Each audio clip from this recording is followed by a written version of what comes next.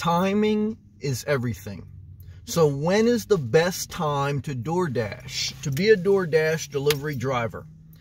Well, DoorDash, the company, just came out with their annual data report, meaning that DoorDash, like many technology companies, collects data, and that's one of their main driving forces to be more efficient and to be more marketable, to know their market, and to key in on certain things. So, one of the pieces of data that I pulled from the article that I read was when is or when when is the most orders when are the most orders generated in the system therefore needing the most drivers? What time during the day? 7 p.m 7 p.m 7 at night is when the highest orders are coming in and it makes sense because after you get home from work, uh, which for the normal person will be around 5.30, 6 o'clock, you have to uh, get on change, get dressed, and you probably place the order somewhere between 6.30 to 7 o'clock. So why do you want to know that as a dasher, as someone who delivers food for DoorDashes, and then you make a profit or, or you make an, a certain amount per delivery?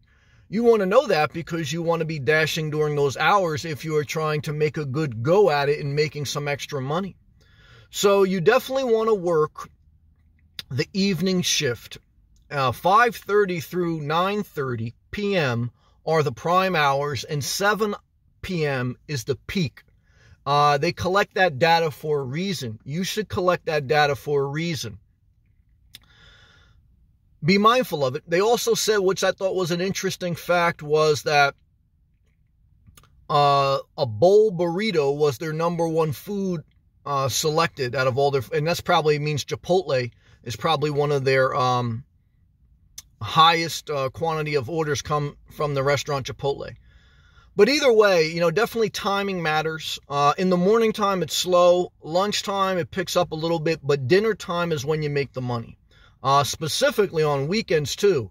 So Friday, Saturday, Sunday, those days, uh, definitely Friday. That's pro- Friday is probably the busiest night, and all nights uh, dinner time is the busiest time during the day. And you kind of have to position yourself to deliver food during that time if you are someone that you have to really focus in on this and make as much money as possible, or if you just um, want to be efficient and because uh, you don't want to waste time, you don't want to like uh, log on in the morning uh, from 7 a.m. to 10 a.m. and say I got no orders. Well, you got no orders because that's the lowest period of time to get orders. And same thing like 2 p.m. to 4 p.m. You know, you're not getting any orders because there's no demand. The demand is mainly at night, mainly between 5:30 to 9:30, and mainly height of it at 7 p.m. So make a mental note of that on your journey because no matter what you do in life, okay, timing is a big part of life, okay? And you can never time everything perfect, okay? But that's what science is. Science is the collecting of data and forming a decision.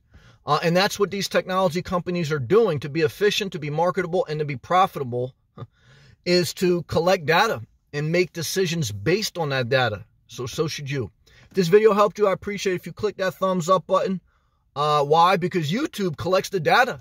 And uh, share the video. Subscribe if you're not. I make daily vlogs. I also have a playlist on my channel of various different things, including a DoorDash playlist. Check it out.